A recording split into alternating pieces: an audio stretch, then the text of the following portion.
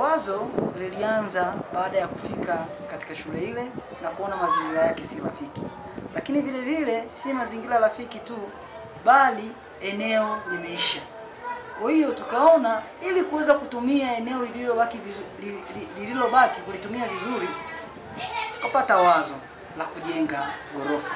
Kwa wazo la kujenga ghorofa lilianzia pale nilipofika katika shule ile na kuona miundombinu imechoka na na ardhi eneo limekuwa finyu. Wazo ndipo lilipozaliwa.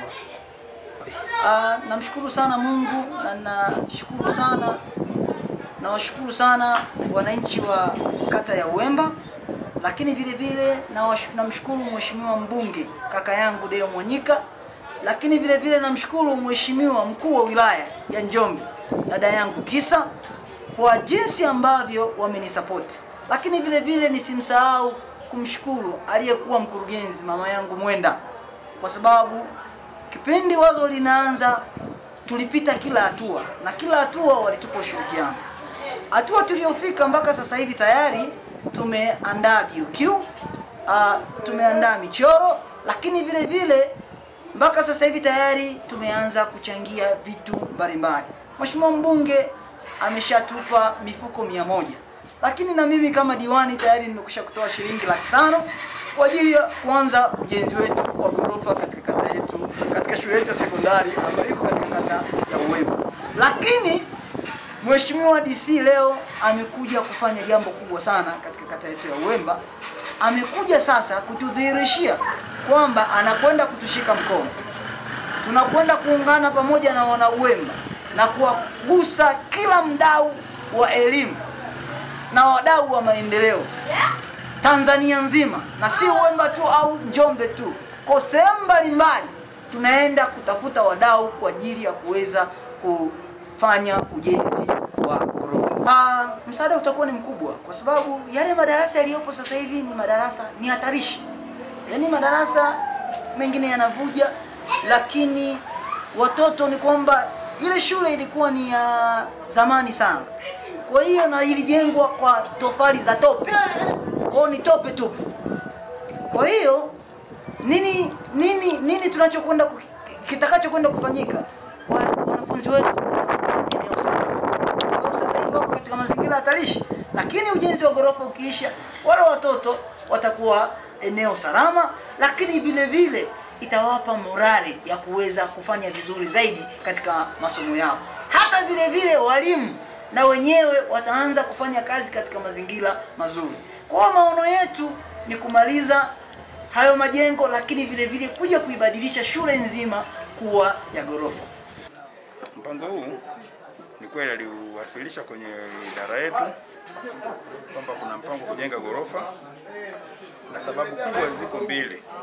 Kwanza, hii ni shule ya siku nyingi ambayo ililikiwa kwa wananchi, ina madarasa ya zamani, lakini pia kwa maana ya eneo, eneo lake ni dogo, sio? Kwa hiyo ikijengwa madarasa ya ghorofa, eneo dogo litakuwa na madarasa mengi. Kwa hiyo sisi tulipokea tukampa kila aina ya ushirikiano, na idara hii ilishiriki kuandaa BOQ, yaani ile mpango wa ujenzi, sio umeshaandaliwa kitaalam kabisa kupitia mainjinia, na tumemkabidhi yeye, anatembea nao kuendelea kufanya?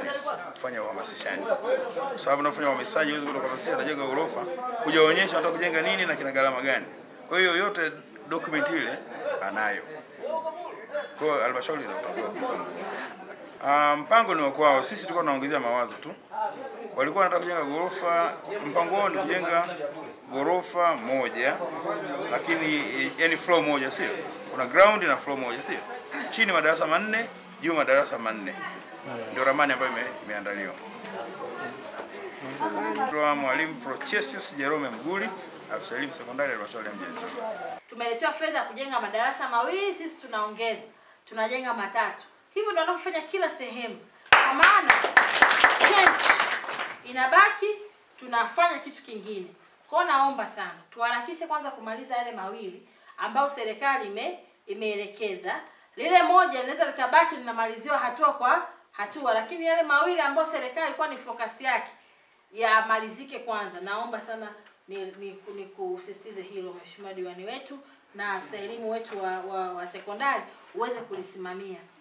Na niendelee kuwaahidi kwamba mambo mazuri tutawaletea hapa. Kwa mfano ujenzi wa, wa shule. Shule yetu ya ghorofa. Niseme tu kwamba hata kama hatutaweza ku, kumaliza yote lakini tutaanza na tutafika hatua nzuri. Kwa kumuunga mkono mheshimiwa diwani tutaanza ujenzi wa shule yetu ya ghorofa. Angalau tuanze na floor ya kwanza. Tutaanzaje huo ujenzi? Tutatumia wadau tutatumia kila njia ambayo tunaweza. Mheshimiwa diwani nimeshamweleza kwamba tutapita njia gani na afisa wetu elimu wa sekondari